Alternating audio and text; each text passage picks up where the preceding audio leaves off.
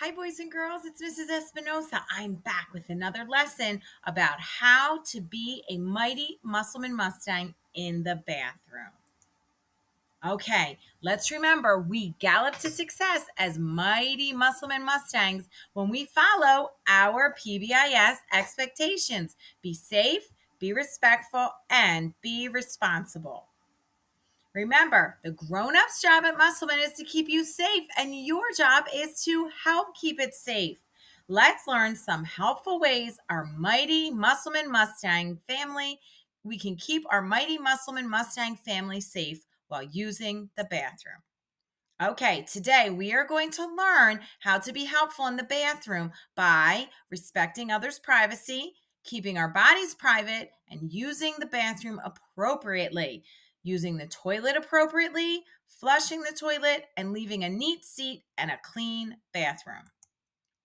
Okay, boys and girls, we have two very important people at our school, Mr. Mark and Miss Gabby. They are our school custodians and they help to keep the school clean. But guess what? It's your job. It's the student's job to keep that bathroom clean. So if you see paper on the floor or you see water on the floor, you need to help clean it up. Okay, things you see in the bathroom, as always, toilet paper's over here. This is our urinal, and this is the toilet.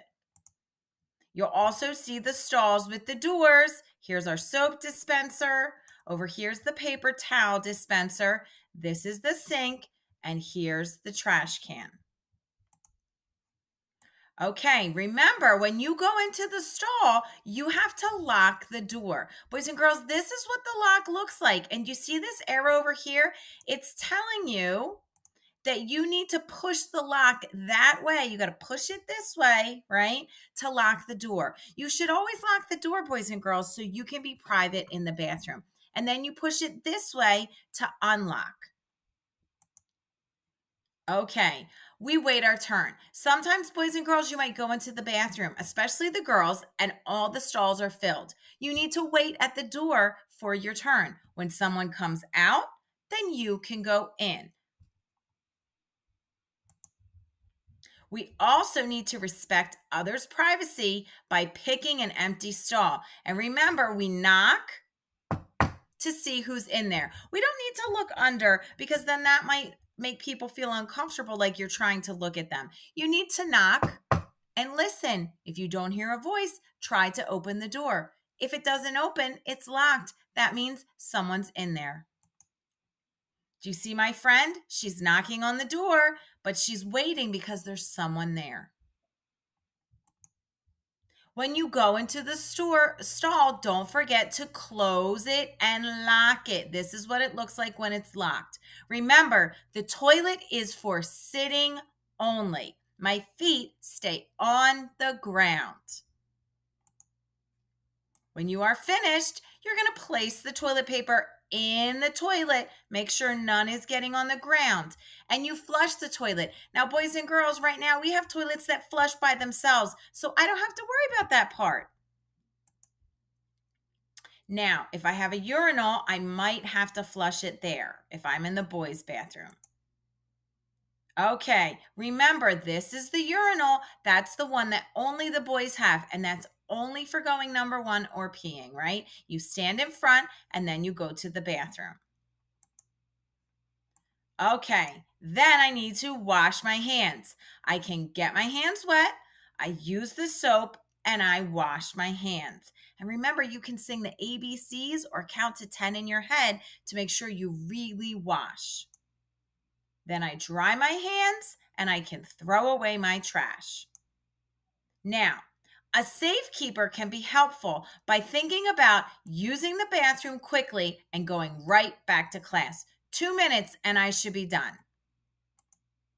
Now, something about the soap, boys and girls. Do you see where my arrow is? This is the part where you have to push to make sure some soap comes out. So I put my hand under and I push to get some soap. And in the past, we said two pumps. Guess what? I'm noticing that one pump is plenty. Two pumps is just making a big mess. So everybody say one pump. Good job. A safekeeper is being helpful by using one pump of soap. Now, a safekeeper can also be helpful by keeping all the water and soap in the sink. When the soap and the water are on the floor, like this picture, someone in our school family may slip and fall. Look at my friends. Do they look happy? No, they have sad faces. And boys and girls, this happened last week. Someone slipped and fall, fell and banged their head on the wall. We don't want any soap or water on the floor. It needs to stay in the sink. I can use one paper towel. All right, here we go. This is what our paper towel dispenser looks like. You see that little hand? I wave my hand and a paper towel comes out, just like my friend right here. And then I rip to the side and I dry my hands. I only really need one because a big piece comes out. Then I get two points by getting all my trash into the trash can. And if I see trash on the floor, I pick that up and put it in the trash can too. So, what should you do if the toilet's not flushed? Well, you can flush it or tell Mr. Mark. What should you do if someone leaves the stall door open? You can say, Oh, don't forget to close the door.